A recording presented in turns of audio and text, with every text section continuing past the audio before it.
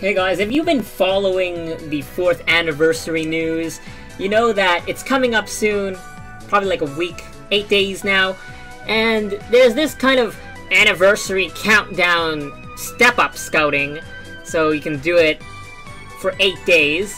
Each scout will cost 30, you can only do one per day, and it features all these different members for SR Plus cards, but this is the biggest bait I have ever seen ever.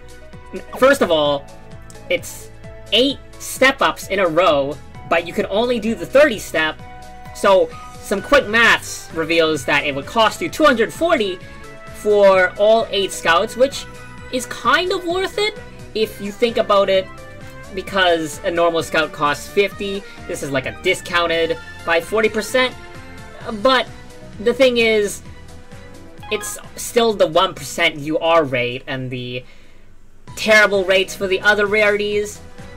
So for the most part, you'd be expecting one or maybe two SRs at best for your scout. And with the anniversary coming up, where the actual good stuff is probably gonna happen, and I don't really know what's gonna happen with the anniversary. A lot of speculation involves the 3% UR rate coming back, and I would honestly expect that considering, you know, Bang Dream is out. They want to entice players to play this game. The 4th anniversary is a good time to kind of temporarily increase the rates. Would be better if it was permanent, but temporary increase is probably the best we're gonna get. And it's been like nearly half a year since the Christmas 3% rate, so I'm really expecting that to come back. If you got like a lot of love gems saved up, I would highly advise not scouting in this. You probably just regret it later on. Wait until what actually happens during the fourth year anniversary celebration. And all I can do is show you right now why you should not do it. Do as I say, not as I do.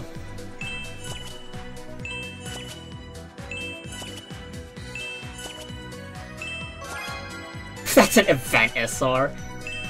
That, that's, that's actually insulting.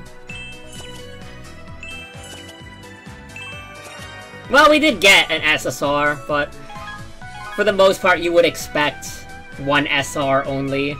Two SRs if you're lucky. I'm probably gonna be an idiot and do all eight of these, and, and I don't know, make a video afterwards to show my regret. But that doesn't mean you have to. I would just save up for the 4th anniversary coming up in mid-May. Anyway, that's that's it from me. I'll see you guys next time. Hopefully, if you do do this scouting, maybe you'll be luckier than me.